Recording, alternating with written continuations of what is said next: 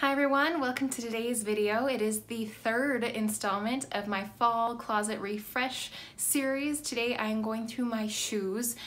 I'm a bit of a shoe hoarder. Is there a group for that? Um, so just going through, I have lots and lots of like work type shoes. I have a lot of tennis shoes.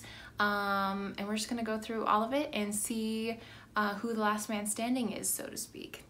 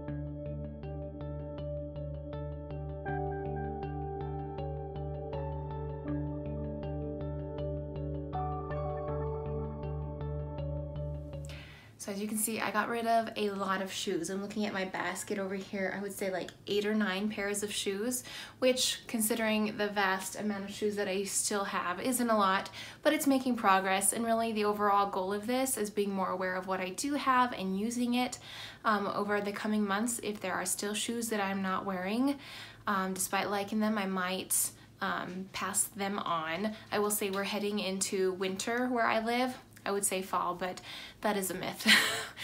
fall lasts for like a week. By the time this video up is up, fall will be over. So like my sandals and things, those are just gonna have to wait until the next spring season. But everything else, you know, as I wear them or don't wear them, I'll know whether or not to keep them or to pass them along.